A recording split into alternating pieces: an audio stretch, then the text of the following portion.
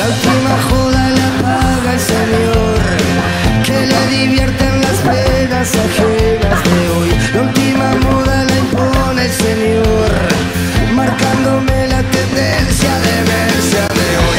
Él tiene todo lo que hoy precisas y los infantes se parten el alma por más. Él te cautiva mostrar.